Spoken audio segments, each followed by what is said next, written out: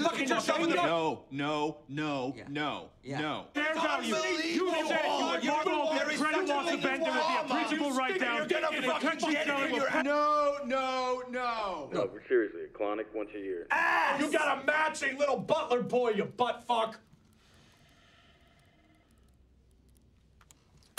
Are you done? Think so, yeah. God, I pulled muscle in my back from yelling.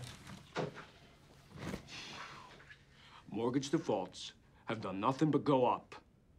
Yet you quote us a higher price on the bonds. Please explain that to me. There's no way that makes sense. There's no way you're marking these swaps appropriately. I mean, why shouldn't we back out of this trade right now? Didn't I say when we made this deal that the rating agencies, the SEC, and the big banks were clueless? Didn't I say that? Yes, you Didn't I say it? Yes, you did. You did. Shut up. You did. Now their foot's on fire. They think their steak is done, and you're surprised? That's not stupidity, that's fraud.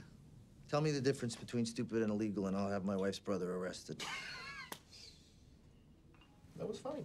I guess you just don't realize how clueless the system really is. Yes, there's some shady shit going down, but trust me, it's fueled by stupidity.